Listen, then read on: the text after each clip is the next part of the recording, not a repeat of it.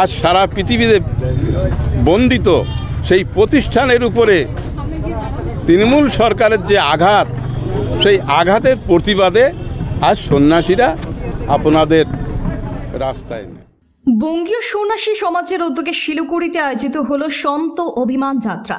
শুক্রবার বিকেলে শিলিগুড়ির বাঘাযতীন পার্ক ময়দান থেকে ওই যাত্রা শুরু হয়। শহরের রাজপথ পরিক্রমা করে ওই যাত্রা শেষ হয় মাল্লাগুড়িতে।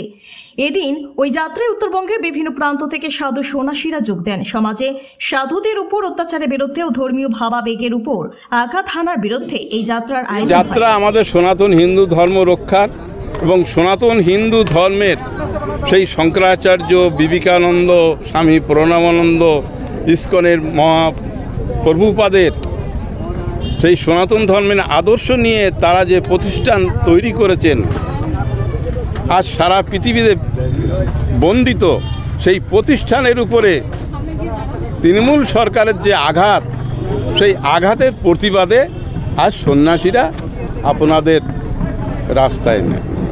এটা তো শুধুমাত্র কোনো একটা সম্প্রদায় না এটা বাঙালির ভাবাবেগ এবং বাঙালির আবেগেরও বাঙালি না শুধু বাঙালি না। হিন্দুদের গোটা পৃথিবীতে সব সম্প্রদায়ের বিবেকানন্দ কোনো সম্প্রদায়ের কিন্তু না।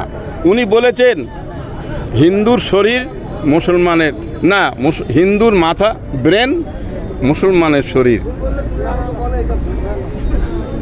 আমি কোনোদিন কোনো সম্প্রদায়কে আঘাত করতে চাই না। স্বামী ঠাকুর রামকৃষ্ণদেব বলেছেন যত মত তত পথ। হ্যাঁ, তুমি যেদিকেই যাবে। কিন্তু হিংসা দিয়ে তো ধর্ম হয় না। হিংসা দিয়ে সম্প্রদায় তৈরি হয় না।